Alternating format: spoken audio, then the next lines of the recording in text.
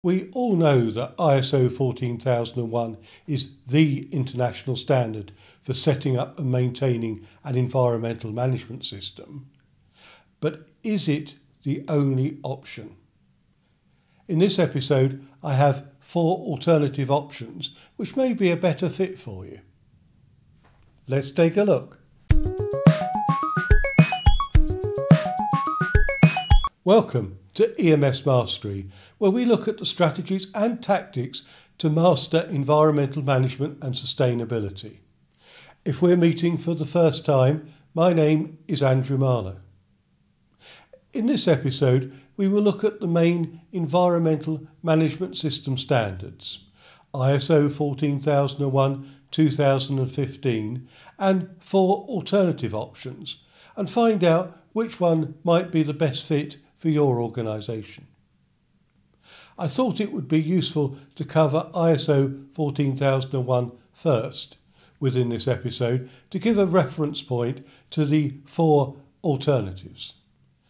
The first standard is ISO 14001 2015 and one which many are familiar with. It's a hugely popular international standard which was published in its first edition in 1996 by the International Organization for Standardization, ISO.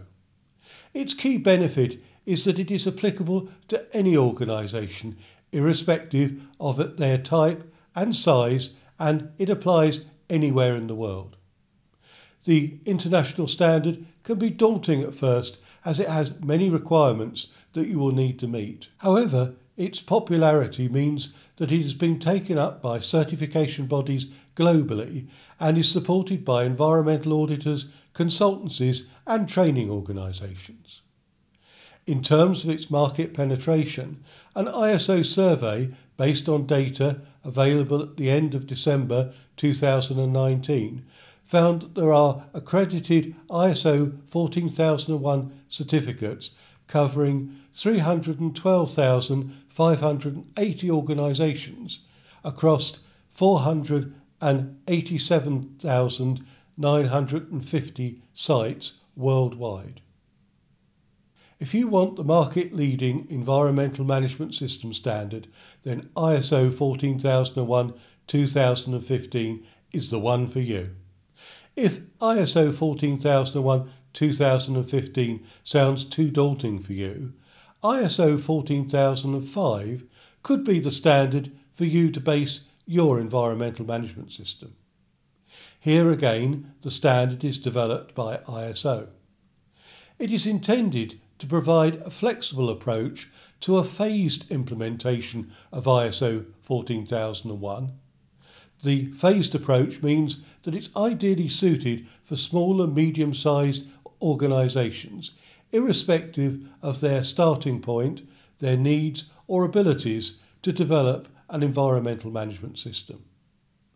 Again, like ISO 14001, it can be used anywhere in the world and is applicable for any sector.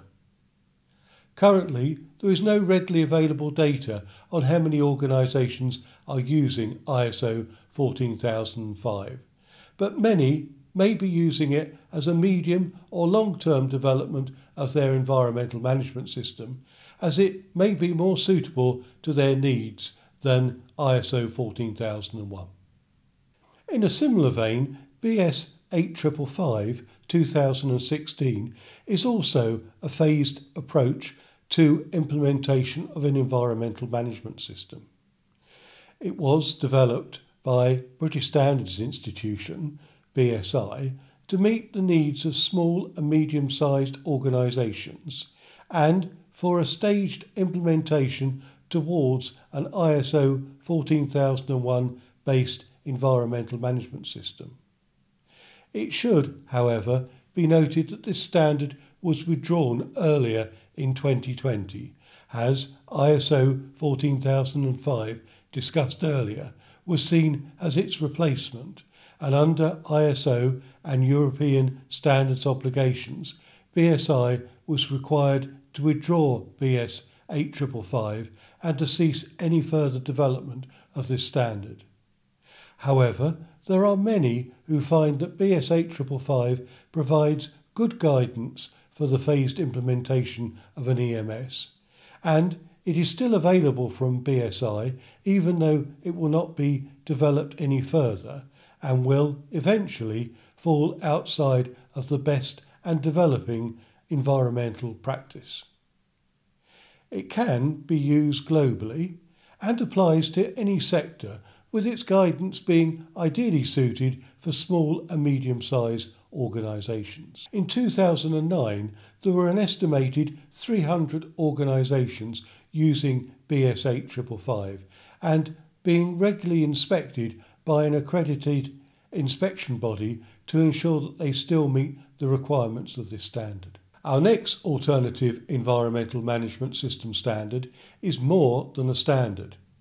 It is a European Union regulation, and even more so, it's a voluntary regulation. This sounds like a contradiction of terms, but what is being said is that if an organisation wants to voluntarily use the EMAS regulation, they can make that choice, but once you start to use it, the regulations requirements apply to your environmental management system. Unlike any of the other standards in this episode, the EMAS regulation or the Eco Management and Audit Scheme, to give it its full title, was developed by the European Commission and approved by the European Parliament. It follows the requirements of ISO 14001 2015 for its general requirements and has additional requirements for environmental core indicators to adequately document environmental performance and also has requirements for employee involvement and environmental legal compliance. Although it's a European Union regulation, it can be used by any organisation or sector worldwide with the development of EMAS Global. Indeed, sector reference documents, SRDs, on best environmental management practice have been developed to provide guidance and inspiration to organisations in specific sectors, such as the retail trade and construction, on how to improve and further enhance their environmental performance. The latest data from April 2020 shows that 3,652 organisations have been registered to the EMAS regulation, covering 12,515 sites.